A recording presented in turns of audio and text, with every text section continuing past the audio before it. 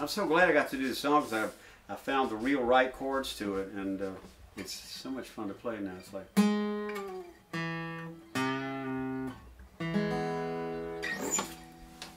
Okay, so this 12 volt man? 12 Volt Man, yeah.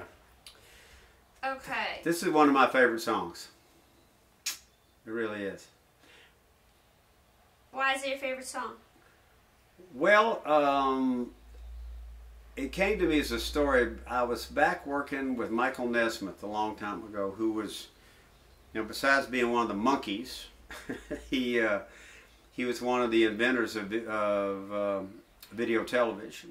He uh, he did a show called Elephant Parts. If you go up there and look, and it was like one of the first videos, and then another one called a song called Rio, that he did uh, did videos to his own music, and uh, and I think it, it, it, was a precursor to actual MTV that he was he started doing that early on, and he connected up with me, and we were working on a project at one time. He wanted to do a, a movie of Margaritaville, which never came to fruition, but um, working with him because he was really, really an interesting guy. And in the middle of it all, he told me this story about, he said, I was down in Mexico, way, way down uh, in the Yucatan, and I was on the beach one time when I first heard your stuff, and there was this guy, and he had a, like a shack on the beach, and he was surfing, and he, he had a, a blender, and he had a, a little cassette player that he ran on a 12 volt battery, and he only had like two of your albums and a Bob Marley. And that's what he played, and he ran this little uh, funky hotel. And I love that story, and I just took it, and I and I remember because uh, I think there, it was on TV at the time, and I was watching a football or something, and Sears had a bat a, a car battery called the Die Hard, and it was supposed to never go never go out on you. So somehow I took that and and uh, when I started figuring out how you know he powered this whole thing with a battery, and I came up with that line: uh, "He don't need no charge card, just give him a diehard." And I've always that's one of my favorite lines that I came up with. I don't know why, but I like the whole idea of the song, you know. And this was probably a most difficult song because it's a lot of different chord structures in it. That it was another one I was listening to a a Joni Mitchell song that I always listened to, and her, her chord structures were always kind of simple but very kind of strange, and, and I wanted to try something like that on this. So this is kind of on the basis of those two kind of things. That's how the song came out. Is it true you got stuck when you were trying to rhyme Die Hard? I got stuck. Yeah. Uh, yeah, I, no, I was trying to rhyme. I could rhyme Die Hard, but I had, you know, and then I ran my alphabet, you know, and that's the way I do it. You go hard, fard, bard, card. A card is a card. No, E, F, fart. No, I can't use fart. G, a guard. So you run the alphabet like that of rhymes. And that was before they had Rhyme Zone on the internet. So you had to kind of run that through your head. And I came up with, uh, you know, charge card and a die hard. So then that that's how I got it. Okay. All right.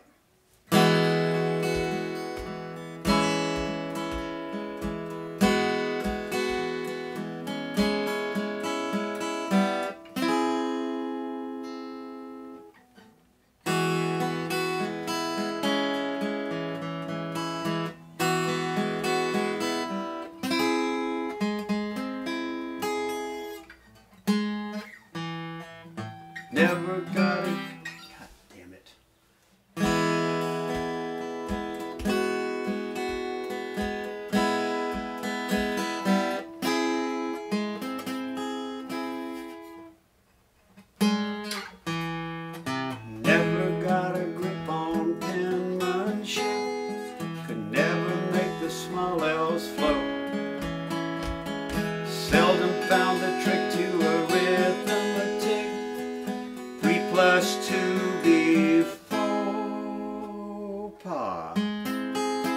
but ask for some palm trees or tales from the South Seas, and I just might turn your head.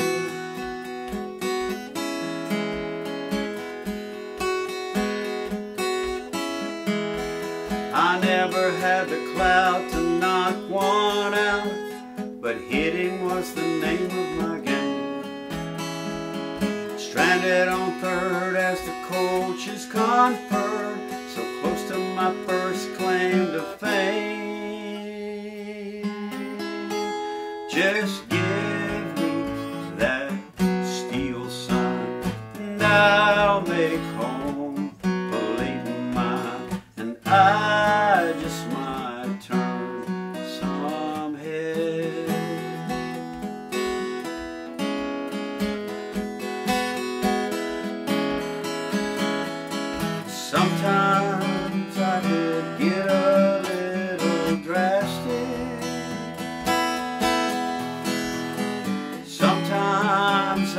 Let my feelings show.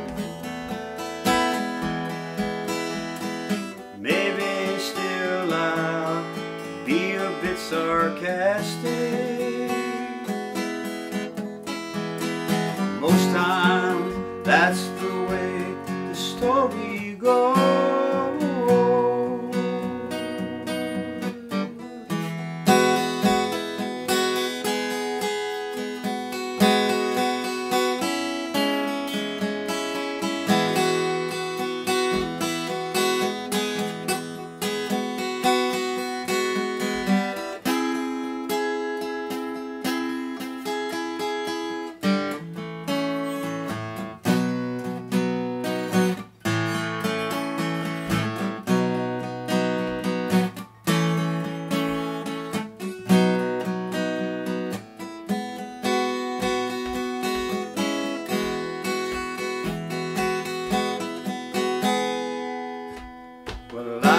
This Joe down in Mexico.